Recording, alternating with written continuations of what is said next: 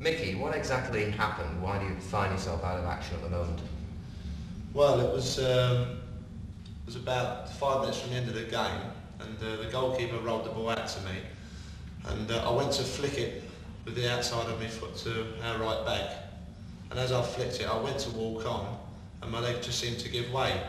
But after having a few X-rays, they found that uh, it was just the, the ligaments at the back of the knee, and, and where the muscle goes into the into the back of the knee was just sort of uh, the fibres were torn. Why is it important to come in here to these hypothermic baths? Well, the, the main reason is so that when you get into the water, you can get a lot more stretch, you know, in your joints on your leg. It's uh, it's easier to to do movement in water, a lot easier than if you was outside on you know on that slab there.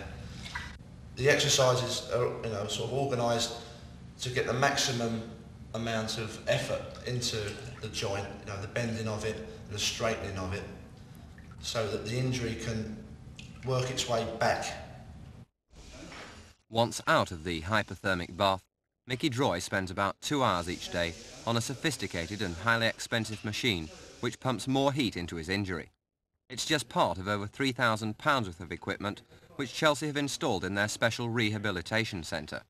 They also have wall bars, weights cycle machines and sunray equipment where players can tone up not only their condition but also their tan. A far cry from the sort of facilities enjoyed by physiotherapist Harry Medhurst when he started work at Chelsea 30 years ago.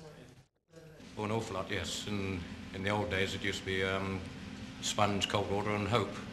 But, um, now, now we've learned a thing or two. We go on courses. Um, we know what happens when an, an injury occurs. We can diagnose it better than we used to be able to. We can um, inform the player what he's got, make him more happy with, with his injury, because a lot of players, they worry terribly when they get an injury, which is natural. And if we can tell them what they've got and near enough how long it's going to take and that it's, we hope it's not serious and they cooperate with us, it's amazing what uh, results we get. You must have seen some incredible injuries here over the years. What?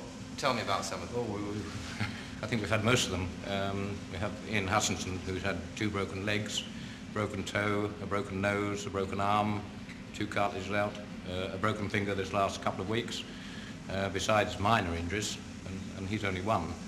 John Dempsey, you're probably one of the most injury-prone players on Chelsea's books. Could you tell me about some of the injuries you've had? Yes, well, it started about two years ago in a game at Leicester where I jumped up to hit a ball and I landed and went over my ankle, which caused, you know, me to have Achilles tendon trouble.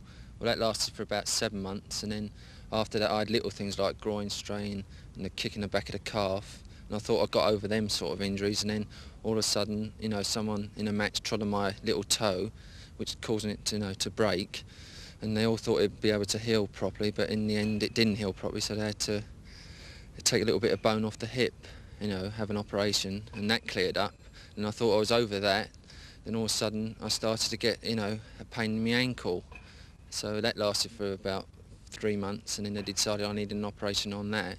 So I had to have a bit of bone taken out of that ankle. Got over that and then at the moment I've got a bit of a knee trouble, you know, which will I hope clear up in another couple of weeks. But it's been six weeks since I did it. You know, I twisted when I was jumping up for a ball again, you know, and landing and just went over the knee. And so over the last two years, you know, I haven't really played that number of games really, only about 15, 16 games all told in two years, you know. We also spoke to Chelsea skipper John Hollins, who hobbled off before the end of last Saturday's match with a recurrence of a knee injury. How worried are footballers about being injured? Does it? I mean, do you lie in bed at night worrying about it? I think in John's case, I think you do worry about it because he's had more injuries perhaps than, say, I've been very fortunate that I haven't been as injured as he has. I've, I can go, well, I have gone about two or three years without an injury. Uh, I've got a little bit of a knee problem, but nowhere near what uh, John's had. But I think what happens that players have a knock, and as John says, they, they want to get back much quicker. They come back just that week too early.